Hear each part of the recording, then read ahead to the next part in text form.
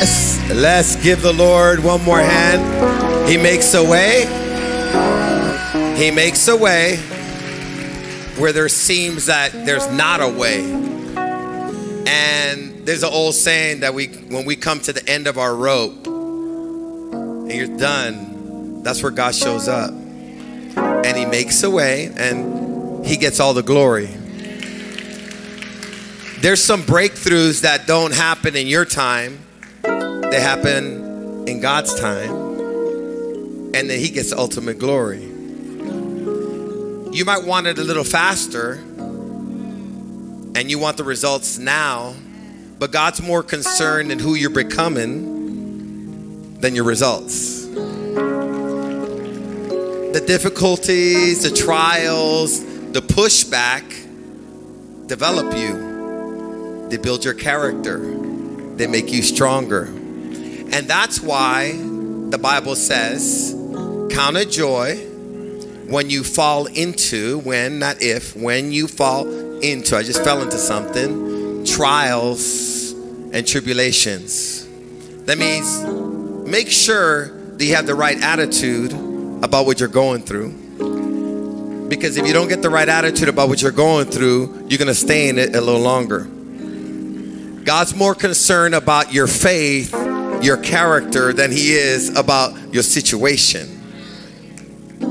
Kind of joy when you fall into, fall into it, trials and tribulations, knowing you got to know something that the testing of your faith will produce. The trial's going to produce something in you. It's going to produce some endurance. Someone say endurance. That means it's going to get you to the point that you can handle some pressure handle some pressure without blowing up, handle some pressure without blowing up on people, handle some pressure without massively being in anxiety and depressed, handle some pressure and say, I know God is going to get me through this. This I'm going to endure through because God's with me. And though I walk through the valleys of the shadow of death, I'm not going to fear nothing because there's a factor in this thing the Lord is with me and He's going to get me through this. Is there anybody that understands that when God's with you, you can get through it? It's going to be all right. Your trial is just a test, that's all it is. Learn how to overcome it and graduate. Amen. Come on. Learn how to overcome it and graduate. Stop expecting for everybody to be perfect so you could be happy. Learn how to be happy when everything's imperfect. That's when you're being perfected. Come on, give God a little bit of praise because He's perfecting you, He's maturing you. You're going to get through it.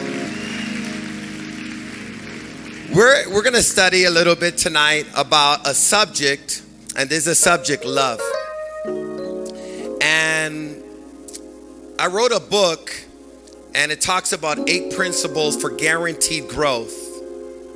And love is a foundational principle for growth in your life. You really know that you're maturing by the level of love you walk in. Love, love never fails. That means anger is going to fail you. Impatience is going to fail you. Manipulation is going to fail you. Your pride will fail you. But love will never fail you. Your education might fail you. Your money might fail you. People might fail you, but love never fails. It's time for us to observe where we're really at. Am I really becoming more loving? Because if you're becoming more loving, not more impatient, not more anxious, not more crazy, not more addicted, not more promiscuous, but more loving, you're growing. And you know who you're becoming more like? Jesus. You're becoming more like God. For God is love. So today we're going to be talking about a principle love equals love equals guaranteed growth. If you want to grow, in your life, in ministry, in your relationships, even in your money, if you want to see grow in your business, it's important that you have the right atmosphere for growth. And the atmosphere for growth is love. When there's love, it's like sunshine, things grow. You don't have a marriage problem, you got a love problem. And some of us, because we're not walking in love, it's messing with our money.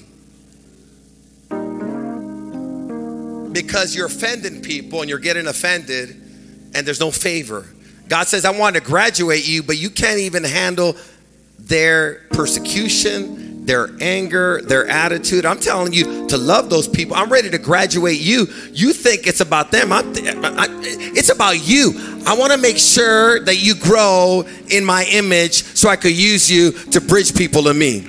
Let's give God some praise. Come on, we're going to learn about love tonight. Father, we just thank you for tonight.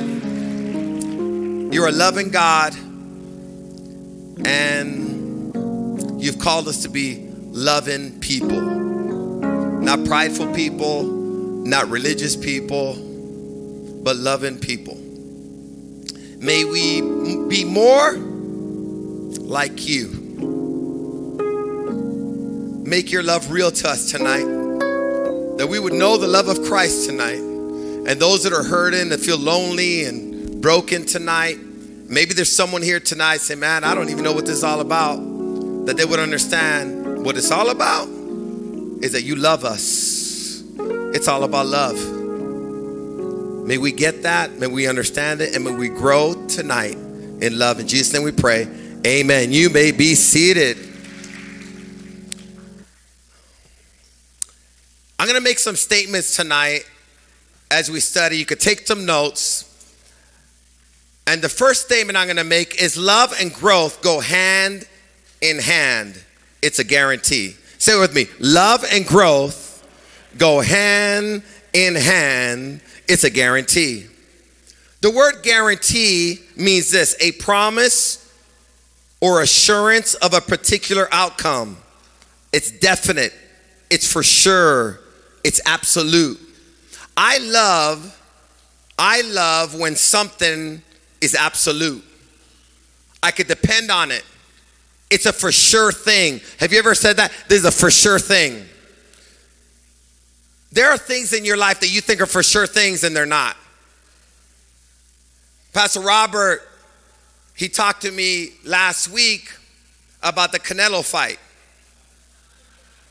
And people thought that was a for sure thing. Canelo's gonna win that fight and he's going to light heavyweight, guaranteed. And he said that his barber put $10,000 on Canelo.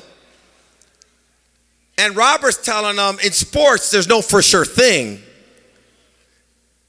Pastor Robert's getting his hair cut and telling him, please don't do it. And he told Robert, You don't know what you're talking about. You must not know about boxing. Canelo's gonna win. And right now, I'm trying to get my family to give me another 10 grand so we could do 20 grand because this is a for sure thing. We're gonna get rich. Some relationships you think are a for sure thing, and they're not. But God is a for sure thing, and love is a for sure thing. And what God is saying, apply love to it, and I guarantee you it will grow. We must trust God and use the Spirit that He's given you. The Holy Spirit fills your heart with love because love always works, it's absolute. It's definite. It's for sure. His barber woke up Sunday morning really depressed. 10 grand short at least. Imagine how many haircuts you have to do to save up $10,000. Some of us in this room, you're really disappointed because you put your faith in the wrong thing or the wrong method. And God is saying love is guaranteed to cause growth. And growth is this. Let me see if you want this in your life increase in size and stage of development. Love causes increase in size and, st- and stage of development. What it's talking about increase in numbers and also increase in maturity. Well, increase in numbers, why would you want to increase in numbers? If you have a business, you want to increase in numbers. If you have a ministry, you want to increase in numbers. You want to become more effective. And God is saying, if you want to become more effective and you want to have greater influence, make sure you're creating an atmosphere that causes growth, and love is that atmosphere. It also means something that has grown or developed by a process. Maturity, love causes maturity, expansion, enlargement. Love is the atmosphere for guaranteed growth, just like good soil is the prime condition for seed to germinate. Our goal as a church is for everyone to absolutely feel loved after every interaction with us. The question we must ask ourselves consistently did we love them to the best of our ability? We must keep in mind that God uses His love in us to build loving relationships which he uses those relationships as a bridge for others to enter into a loving relationship with Christ. I just said a lot. That means before they know Christ, they have to know Christ in you.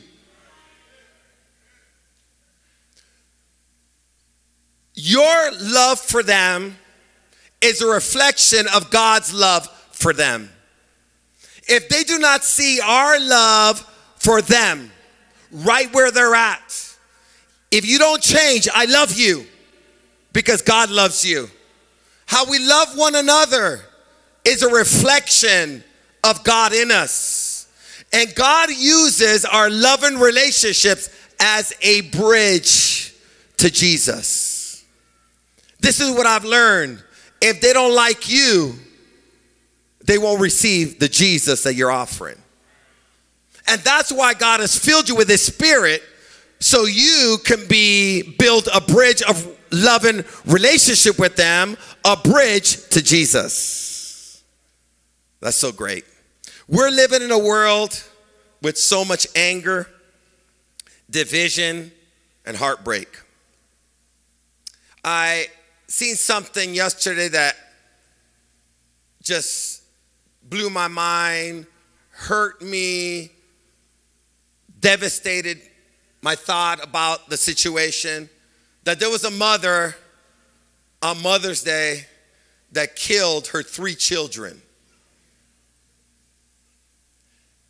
And they don't, they're not releasing how she, she just moved in a real nice, matter of fact, she was in the nicest house in the neighborhood.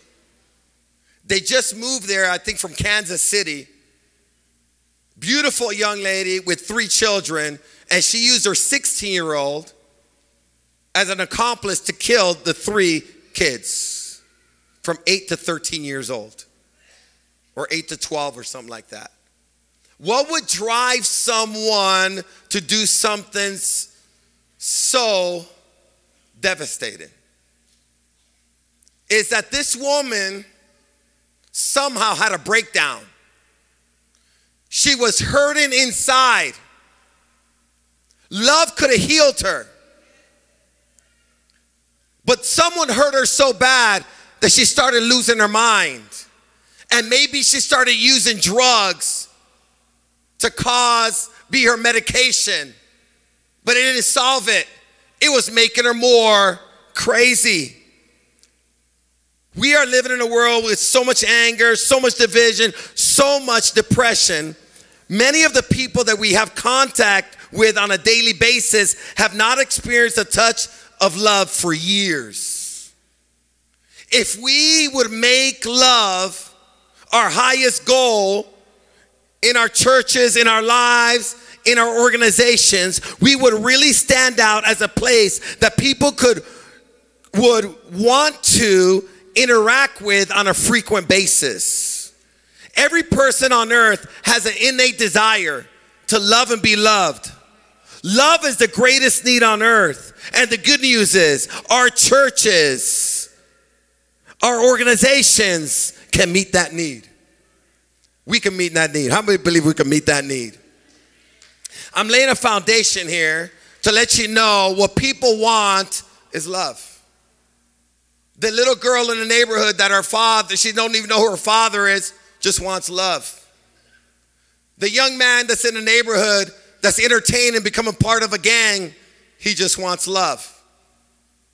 The little girl, teenage girl that's being pimped out by some some pimp on in the hood, taking advantage of her because she has no father and her mother is on drugs. All she's looking for is love and acceptance. And it's crazy what we'll do to experience a little love. But the reality is, the reality is the love that this world gives is manipulated love. But there's a love that can make you whole. There's a love that we can make people complete. And it's the love of Jesus Christ. People are looking for love in all the wrong places. We're the source of love. People have an innate desire to be loved and love. But love, what does the Bible say about love? What priority does God put on love? Number one, love must be our highest goal. Say with me, love must be our highest goal. In 1 Corinthians 14 1, it says, let, let love be your highest goal. At the beginning of the year, and you set goals, have you ever said this? Maybe you have, or maybe you haven't. The number one goal is that I'll become more loving, more kind, more patient. God is saying love needs to be the highest goal, higher than our financial goals, higher than our health goals. I'm going to start eating better. I'm going to make sure that no more sugar. That's fine. There's nothing wrong with setting that goal. No more carbs, no more carbs. Just proteins. I'm going to lose my belly fat. I'm going to start exercising four days a week. I'm joining the gym. That's great. I love that. But be careful that you're not more physically fit than you are spiritually fit. It's okay to make goals, but your highest goal should not be ministry goals, business goals, relationship goals, or educational goals. Your highest goal should be love. And now this word love is, is a Greek word, agape. Say with me, agape. And this word is a verb. And the word love means benevolence or acts of kindness, generosity, a genuine, a genuine concern for the welfare of others and advancement of others, usually manifested by donations of money, property, or service to the needy person a desire to help those in need with the necessary action to meet that need. You can't say you love someone and not do nothing about it. If we love sinners, we'll do everything we can to let them know that God loves them. We'll do everything we can to reach them, even if it means it's sacrificial on our part. If someone's hungry, we just don't say, hey, bro, we'll pray for you. We as a church make sure we have a food bank, a food warehouse that's packed with food so we can make sure we give them groceries. Love comes with action. When we started this church, God defined what this church would be. It would be a church where people would be loved. I remember God calling me and Liza to pastor a church. I don't know how to pastor a church because I never pastored a church. I've never even been part of a church plant. I didn't go to college on how to Christian theology school to learn how to start a church. I didn't have the pedigree to start a church. And I remember the night that God began to call me. It, and God called me through a supernatural dream. And He said, Marco, in the dream, and these were the words go, they're sheep, and you're their shepherd. And if you don't go, they won't have a shepherd. And when I heard that, he was saying, I've assigned people for you to love, for you to take care of, and they're assigned to you. And if you don't go, they won't be loved and they won't be taken care of. There's people that are assigned to you for you to love. I know they get on your nerves, but don't let them conquer your love because God is saying, I sent my son as an example and you spit on him. You pulled out his beard. You crucified him. And this is what he said while he's being crucified. Forgive them for they know not what they do. What Jesus was saying, the love that I have for you is unconquerable. You can't offend me out of loving you. I love you. And there's some people that are offensive. And God is saying, those people I've assigned for you to love, show them the love. Do you believe that there's some hard headed people in your family? The people that are hardest to get along with are not the strangers. The people that are hardest to get along with are the ones closest to you. Many of us have beef with our brothers, our sisters, our church members, our coworkers, our mommies, our daddies, our neighbors. We're struggling with the people closest to us, and we're just praying that they would change. You're getting offended with them. You're cussing them out, and you're a Christian. They're getting on your nerves. You're gossiping about them. And God is saying, don't act like them because you'll never reach them. What I want you to do is show my love. We want to get them to the point where they say, if it was me, I would have slapped you.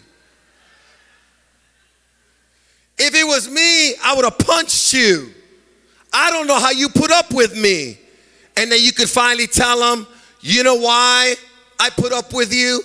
And I made an allowance for your faults because I was a sinner and Jesus put up with me and then he filled me with his love. And I just wanted to show you that there's a love that's greater than your offensive behavior, your betrayal, your lies, and stealing from me. I want to prove to you that God exists and he exists in me and God's just loving you through me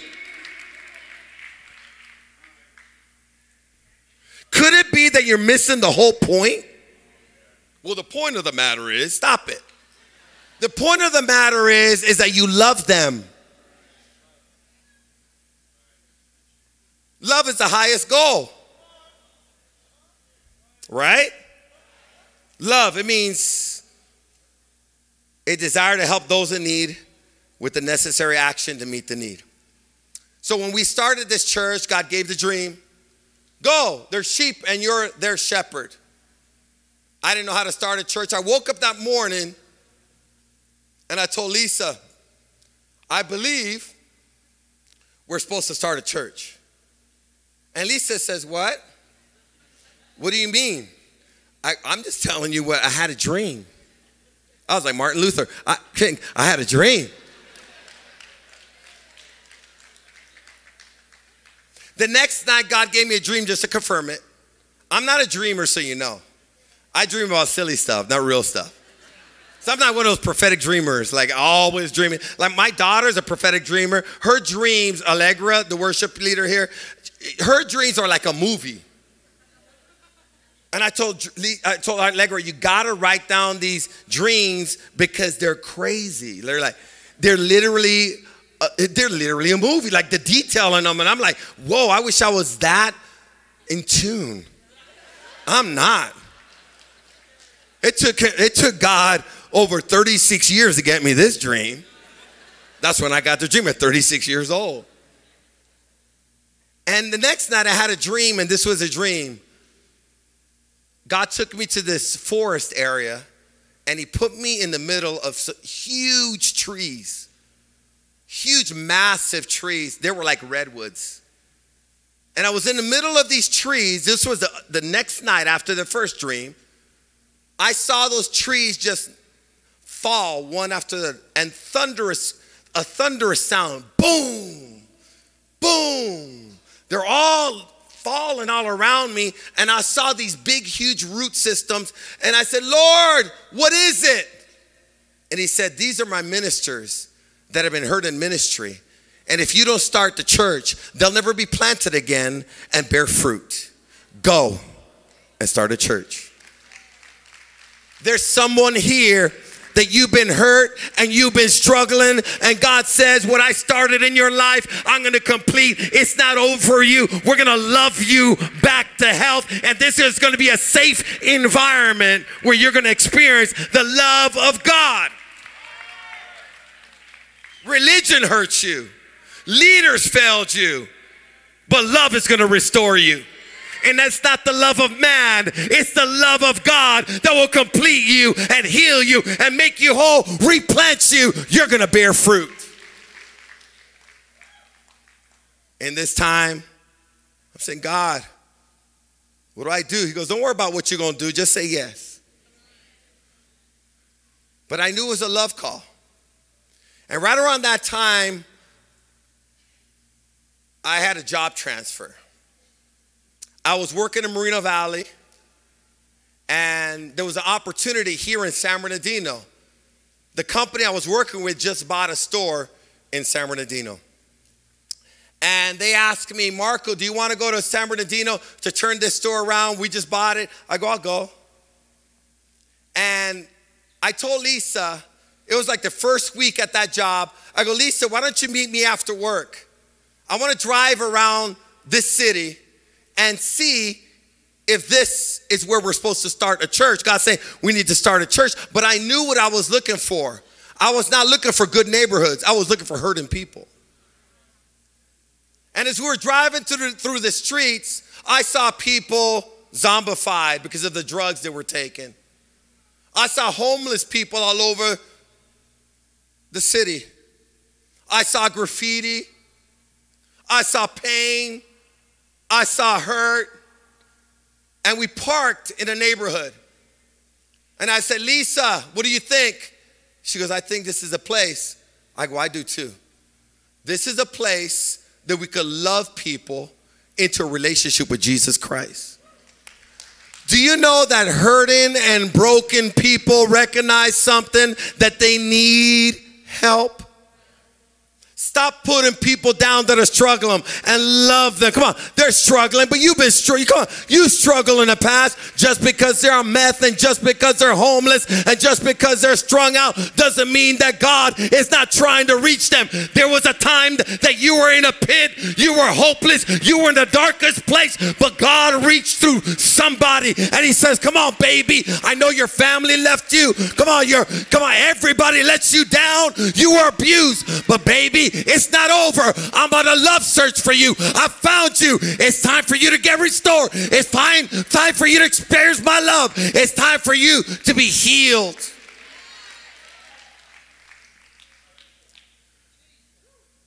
Now,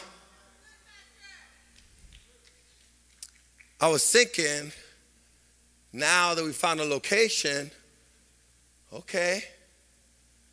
Next question I ask how do you start a church? Do you look for a building? Do you get a flyer? Do you try to set up a nonprofit? How do you do this stuff? And God answered me really clearly. And He said this go and love the people. Love the people and when he told me that, I wasn't sure what that meant. I was thinking, what, I'm just gonna have a hugging campaign? I love you, bro. I love you, sis. And just go throughout the city, love, love, love. I didn't know what he meant by that. But this is what he told me love is benevolence, love is action. And what I want you to do is find their greatest need, find out what their greatest need, and just meet it. Before someone might receive your message, they need to get the message that you love them. Too many Christians have the right message, but it's wrapped up in the wrong spirit. It's okay to tell the truth, but just because you're telling the truth doesn't mean you're effective. Well, it's the truth. It doesn't matter, it's the truth. Are you saying the truth in love? Speaking, loving, meeting needs must be done in the right spirit.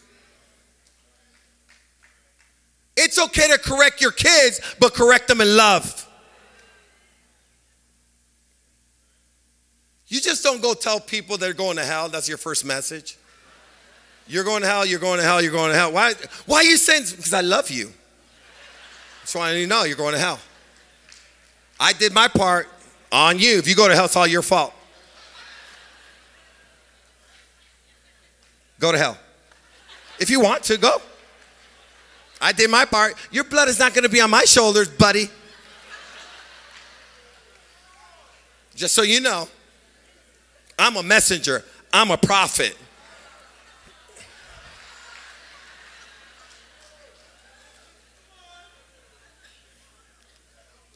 You're telling the truth, but you're telling the truth under a demonic influence.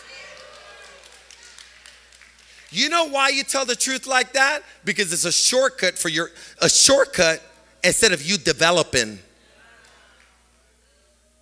There's a time in your life that you can't say nothing because you're not even in the right spirit yet. You got to deal with the log in your eye before you start trying to take the speck out of their eye because the log is so big, you're just hitting people all bam, bam, bam. Well, I told my wife, and she's like, you, you told your wife, and you told her you come to church too, right? And she don't come to church, but I told her. She's getting the wrong message. She's thinking, is that what you're learning at church? Hmm. Let's, let's keep going here. What, what priority does God put on love? Love must be the highest goal. Number two, everything we do should be done in love. In 1 Corinthians 16 14, it says, Let everything you do be done in love, motivated and inspired by God's love for us. Our motivation should be love. You should not be trying to do ministry for a position. You know, right? You should not be creating a worship album to blow up. You should not go and, and start a new YouTube channel so you could be famous and make a lot of money. That's the ambition of the world. That's not the ambition or the inspiration of God. And that's not that God won't blow you up, but as a Christian, He'll make you famous to make Him famous. He's not gonna make you famous so you make yourself famous and forget about God. God is saying, make sure that everything you do is motivated by one thing love. And you know what that means? You got to check yourself before you wreck yourself. I just, I wanted to use that. That's from the 80s. You guys don't know about that. You know what that means? Is check your motivation before you do anything. Work with love. Do marriage with love. Raise children with love. Mow the lawn with love Wash the dishes with love. Do the laundry with love. Go out to dinner with love. Don't be impatient with the waitress. That's not loving. But she's just a nasty waitress. That's your opportunity to love her and bless her. Give her a tip, anyways, and let her know, I love you. And whatever you're going through, if you want prayer, I'm here to pray with you. I just want to let you know I'm from the Way World Outreach, and we have an assignment to love everyone we come into contact with. I even eat with love. Come on. God is saying everything you do, conversations with love, correction with love, business with love. Everything you do. Am I doing this with love? With the love of Christ? Okay. So now we're starting a church, and I'm thinking, how do we love people? And he said this go find needs and meet them. And I'm thinking, how do we do that? He goes, go knock on their doors. Make this practical. Do you mean I'm gonna go knock on doors? Where? In the hood? He goes, yeah. Do you know that some people can't do ministry because you're trying to be too safe?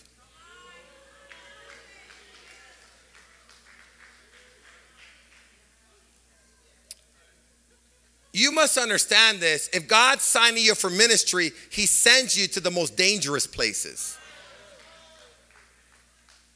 God doesn't send you to safe places, He sends you to dangerous places, but there's the truth. He's with you. He's protecting you. Why would you go to a dangerous place? You would go to a dangerous place because you love people. Come on, stop trying to get into perfect neighborhood, the perfect city. God says, that's not where I'm going. I hang around some dangerous sinners. I came to earth and look what they did to me. But there was one message that they got is that I absolutely love them and no greater love has one man for another than to lay down his life for them.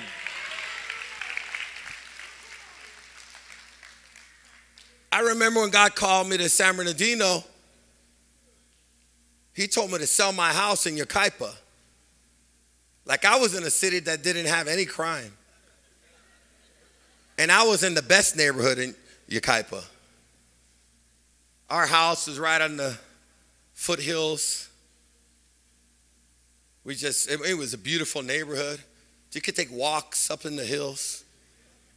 Butterflies are flowing.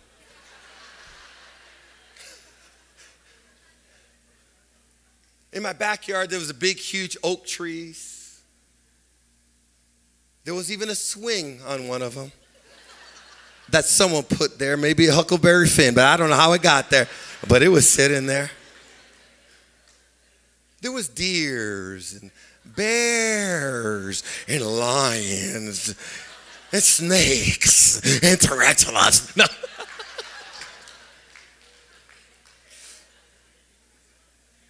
And God says, sell your house and move in to San Bernardino. Put your kids in the school district. You're going to reach a city that you're going to live in. And I'll protect you.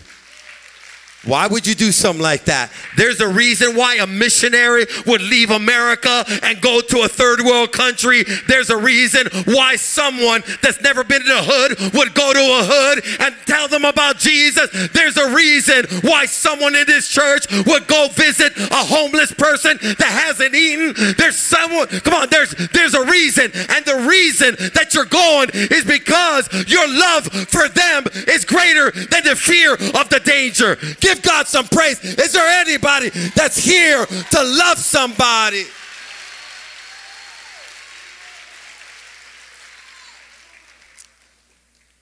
We'll finish this story right now. Does, what does God, what priority does God put on love? Love must be the highest goal. Everything we do should be done in love. And number three, our proof that we truly know God is our love for one another. The proof that we were representatives of God, that we weren't just trying to start a nonprofit in a hood to take advantage of the people, was our love for them. We'd have a building, but we were an assignment to reach some people that God loved but they didn't know. We started knocking on doors. We overcame our fears. I had some fears knocking on doors. Some of the fears is just rejection. What if they slam the door on me? We just go knock on the next door. I know, but I don't. Why would I want to put myself in that situation? Because you love them. And, and just turn the other cheek, keep going. What keeps you going to the next door because you love them? But, Pastor, this is one of my fears. In the hood, they got like pit bulls on crack.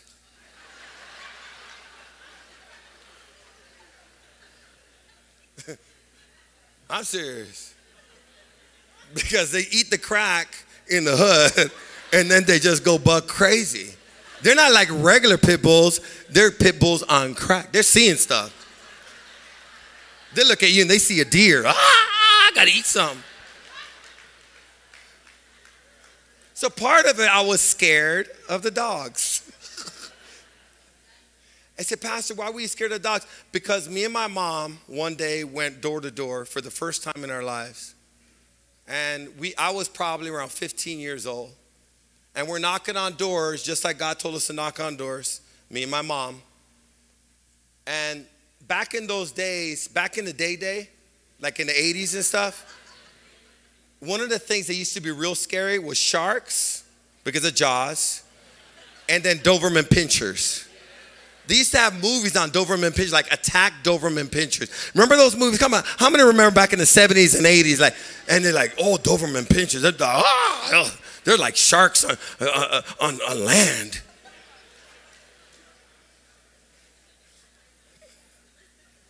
And lo and behold, we knock on a door, and there's a Doberman pinscher there. I remember my dad, we, my next door neighbor had the Doberman pinscher. And that Doberman pinscher's name was Caesar. And that was the biggest Doberman pinscher this side of Wisconsin. Like he was like, rah, rah, rah. And the problem is he would escape. And he was aggressive and he'd be in our neighbor. What I did was I found a way to make friends with him. And I was the only one that had friendship with Caesar. He was attacking everybody. But I was figuring this he's gonna eat me or I'm gonna make friends with him. I made friends with him. But Caesar would go all through town. And I remember Caesar ended up showing up at our church in Fontana. My dad's, he's sitting here. And that dog was at church. When you're getting out of the car, all of a sudden, rah, rah. My dad jumped on someone's car. and he said, What kind of church is this? I go, It's not the church, it's the dog. They, they didn't have this church. But we were we were going door to door, and and in the yard, it was like a six foot fence. It was a, a Doberman pinscher.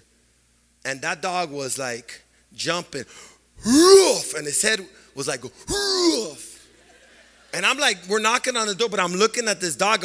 I go, Ma, this dog looks like it's like it's getting like it's it's getting higher every time he jumps. I go, knock on this door really quick. We got to get out of here. This is a Doberman pinscher. This is a shark on land. I go, why are we doing this? Because we love people. I go, okay, but let's just do this a little faster. Let's love a little more faster. Come on, more rápido.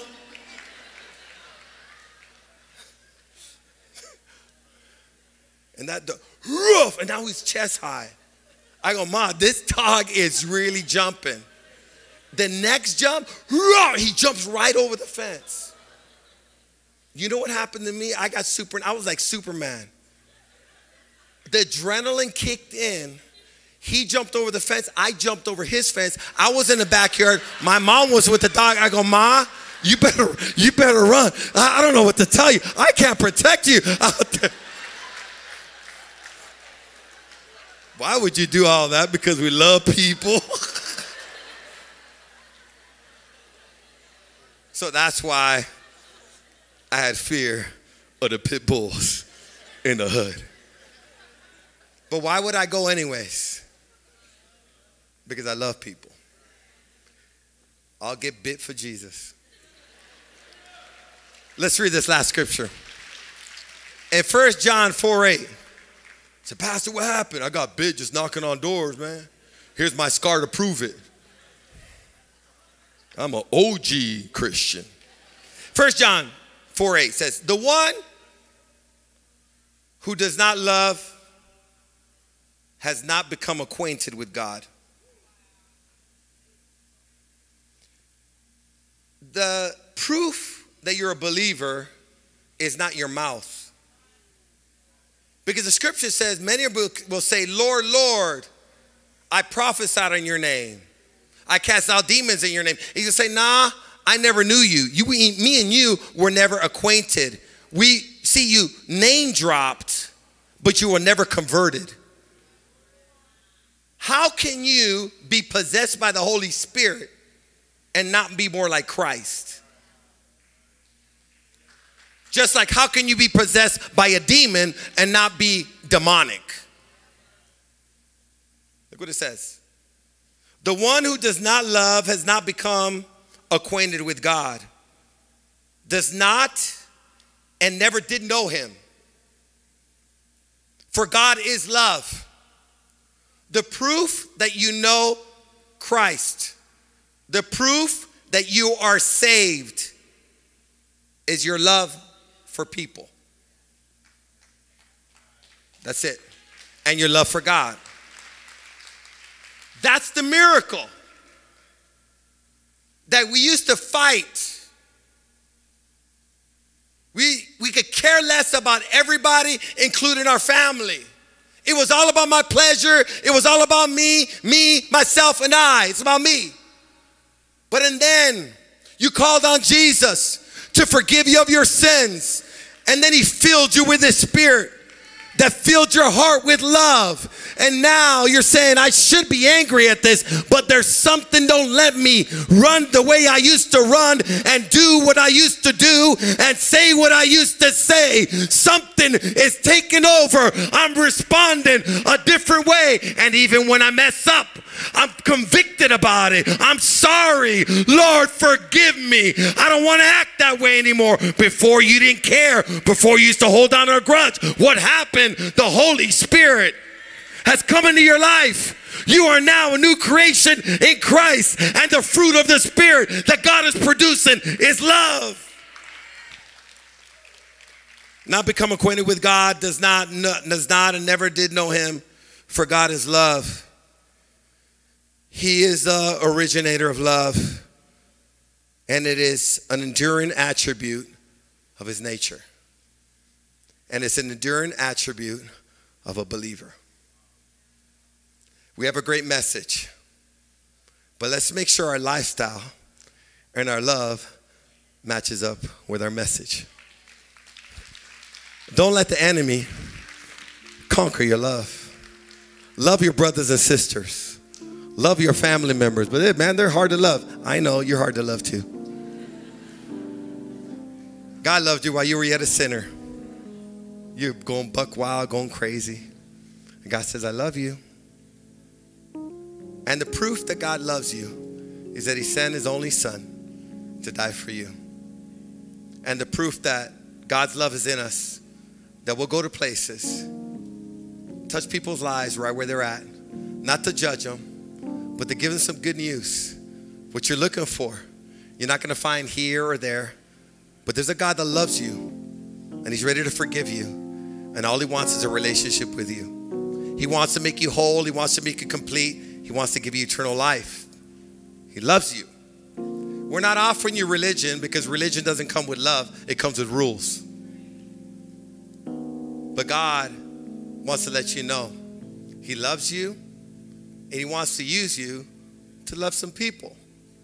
And I pray that we continue being a loving church. And the proof that you really love someone is not when they're behaving good. The proof that you really love someone is when they're behaving really bad and you're still loving them. Is there anybody want to love like that? Let's all stand up. God is a good God. How many learned something today about love? Just a little bit. I, I really want to do a series on love because love is so powerful. There's some promises that come with love that are amazing. I'm going to dismiss in just a second. Please give me an opportunity to love people into the kingdom of heaven. God is love. And the only thing that will make you complete and make you full and make you satisfied is a relationship with Him. Without Jesus, our hearts are empty. That means there's something missing. And we try to figure out what's that thing missing. And we're thinking, well, it's her. She's missing. And you're thinking, if she came back, she'll make me complete. And God said, She can't make you complete. I can make you complete. If He came back, I'll be complete. I said, No, they, they'll never make you complete. I'll make you complete. You're searching. What do you think that you could accomplish on this earth that would make you fulfilled and totally complete? Whatever you're thinking of, if it's not a relationship with God through faith in Jesus Christ, you'll keep on searching. One more high won't make you complete. One more drinking spree won't make you complete. More money won't make you complete. Maybe if you change your gender, it'll make you complete. You know, we're living in a world right now like, I don't know, there's something wrong with me. I don't know what it is. I know what's wrong. Well, you're offending me right now. No, relax, I'm trying to help you. I'm like a doctor right now. You could go ahead and change your gender, do whatever you want. Uh, you could become bisexual, you could become homosexual, you could become trisexual. You just try all of it.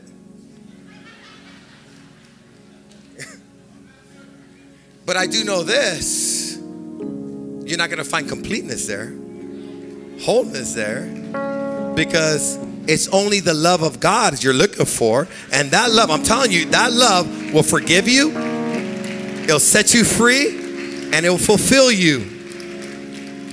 That's all. Today's your day. Receive Jesus as your Savior. So, what's that about?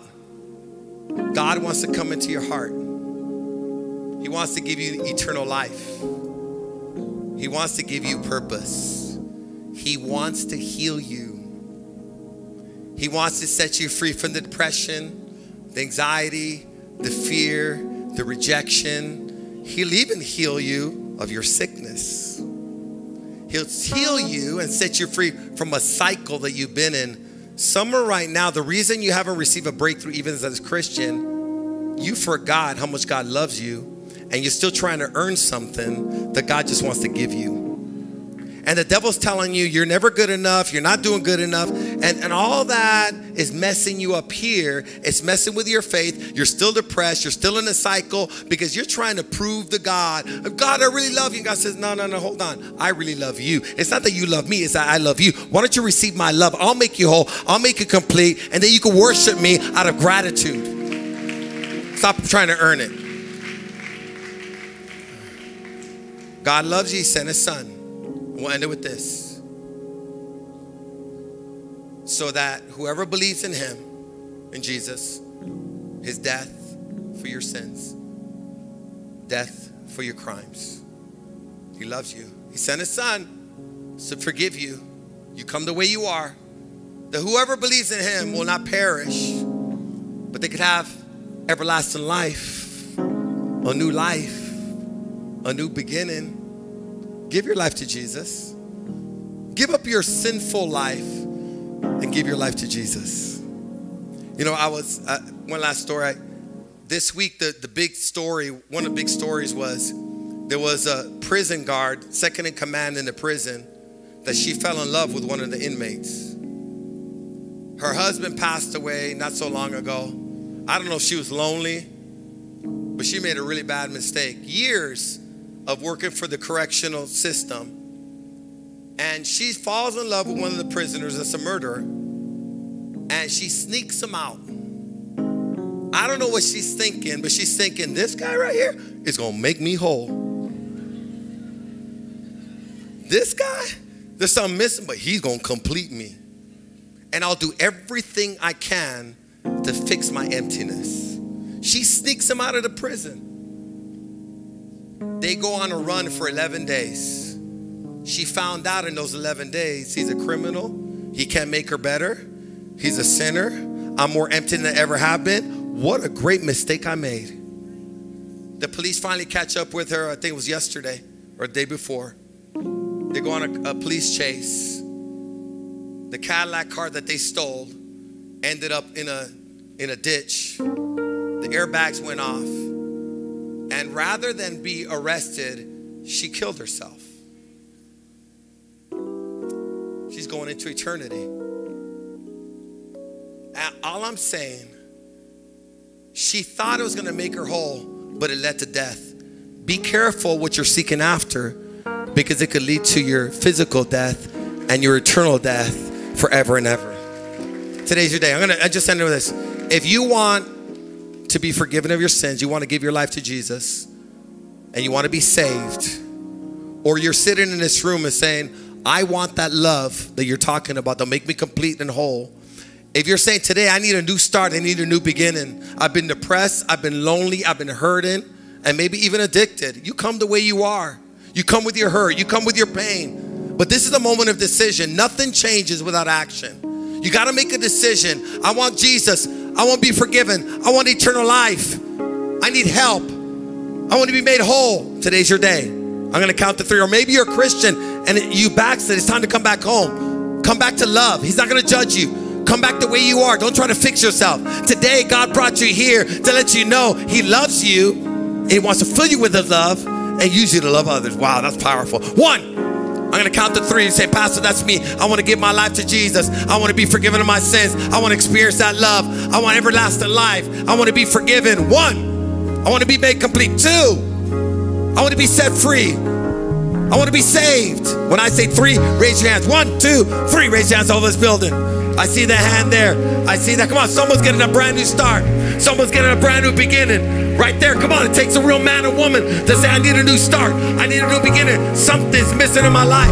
Online. Stand up right where you're at. Stop your car. Pray with me. Give your life to Jesus. God is right there.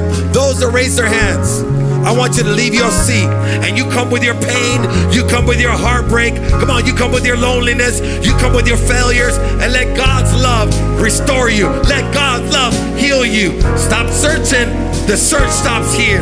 Come forward real quick. Ask your neighbor if you want to go up there. I'll go gladly go up there with you. As they're singing, just come on.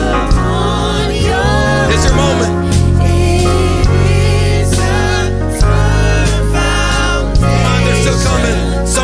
Suicidal. They're coming right now.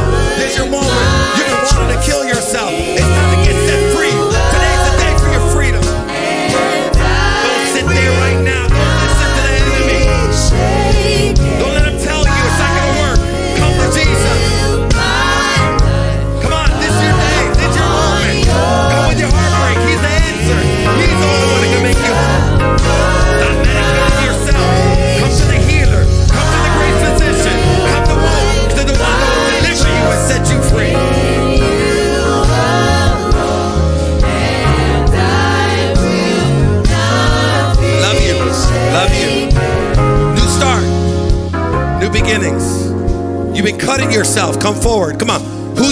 Cutting themselves? Come on, it's pain. You're trying to release pain, and God wants to heal you of that pain. Today's your day. Come on, to get set free from cutting. God wants to set you free. You're one step away from suicide. It started with cutting. You're self-inflicting the pain. You're wondering if I could just, if I could just release some of this pain. Come to Jesus. Come with your addiction. Come on, you don't need one more dose. You need Jesus to set you free. He's the one that can make you whole. He's the one, come on, He's the one that can give you a new life. Whoever calls upon the name of the Lord will be saved. Come on, they're still coming. They're still coming. There's somebody here that you stopped loving a long time ago because they hurt you and you've been angry. And God said, it's time to break the cycle of anger and receive forgiveness and give some forgiveness. Come on, who's there that needs to forgive somebody? Pray. All right. We're praying. Come on, there's somebody. It's time to forgive. It's time to let it go. Forgive yourself. It's time to let it go. All right, we're gonna pray. They're still coming. Come on, they're still coming. We got we got to give an opportunity for people to come to Jesus. Wait, come on, this is not In-N-Out Burger. Come on, we gotta wait. We gotta wait upon the Lord as He's working on people's lives. Come on, church, never get tired of a call. You know why we're here still? Because we got to pray for those that are up here. There was a time someone needed to pray for you. You pray for them. Okay. Okay, we're going to pray right now. The greatest miracle is God's Spirit, the Holy Spirit, which is God, comes in and makes you into a new person. You're not joining a religion, you're being converted from a sinner to a child of God. It's not like I'm gonna join this church, it's bigger than that. You're entering and reconciling your relationship with Jesus. And when He comes into your heart, He cleanses you of all your sin, He forgives you. And when He forgives you, He washes it all away. All away. It's gone. Your record is totally clean. He'll never bring it up again. It's forgiven. Your credit is clean. God wants to do something in your life today. Give your life to Jesus. If you need a miracle to be set free from a drug, drinking, depression, anxiety, we're gonna pray right now for the Spirit of God to set you free right now, make you in a new person. But you're making a decision today to place your faith in Jesus. Whoever calls upon the name of the Lord will be saved. Call on Jesus to save you, to make you whole, to make you a new person. And then you're making a decision to follow Jesus. Come to church, study the word. We're going to help you with that. First step, get baptized after this. There's the next step. Let's pray. Let's bow our heads. Repeat after me. Say, Jesus, I believe and I know that I'm a sinner. I've done life my way. I've been seeking for wholeness, happiness, peace, purpose in all the wrong places. I've been hurt, betrayed. I ask you, Lord, to heal me and set me free from every bad habit, from every addiction. Heal my broken heart Set me free from depression, from anxiety. Make me new. From this day forward, I repent of all my sins and I call on you, Jesus. Save me. From this day forward, I make a choice to follow you, Jesus, for the rest of my life. Fill me now with your spirit with your love, with your joy. I thank you, Jesus. I receive the free gift of eternal life. I am saved. I'm born again. In Jesus' name, I pray. Amen. Let's give the Lord a big hand. Your next step is to get baptized, join our Holy Warriors class, and show up to church this Sunday. Now, as a believer, you come to church. God bless you, church. Remember this if God's for you, there's no one that could be against you. Go out there and love some people. Thank you, worship team. Let's go ahead and just sing a song as we release the